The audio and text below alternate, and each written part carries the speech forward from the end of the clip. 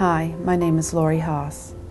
My daughter Emily was shot twice in the back of the head and survived at Virginia Tech, 1038 on the morning of April 16th. I got a phone call from Emily.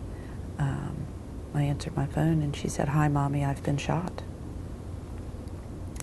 It was just horrific news and devastating news and uh, sent our family down a path of recovery that is, you know, difficult to describe. The layers in, an, in a mass shooting aftermath are, are just immense.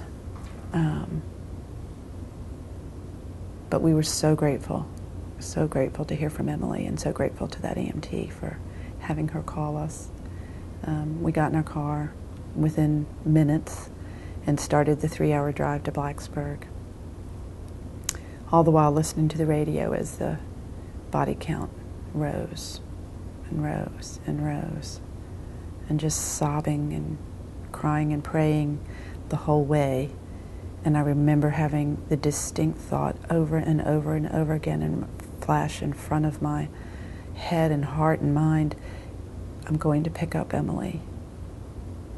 And there are 32 other sets of parents going to pick up their dead children we make it so easy for dangerous people to get their hands on firearms and then go out in our communities, hurt people, kill people, destroy families, destroy neighborhoods, destroy schools. You know, we allow this to happen. This is, you know, 2013 in the United States of America, supposedly the greatest country in the world, and we have the highest firearm death rate. Who are we? What are our, where are our values? And where where is our action you know to support those values?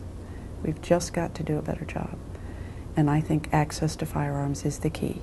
We have got to do a background check on every buyer. Please join me. Speak up. Let your voice be heard along with mine and so many others.